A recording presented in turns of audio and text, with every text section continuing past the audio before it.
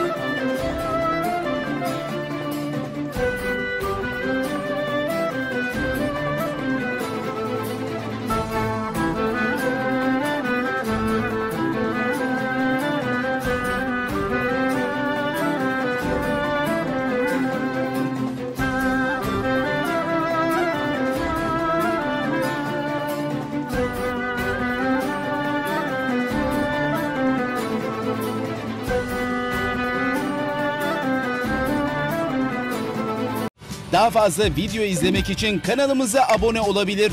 İlk izleyen olmak isterseniz bildirimleri açabilirsiniz.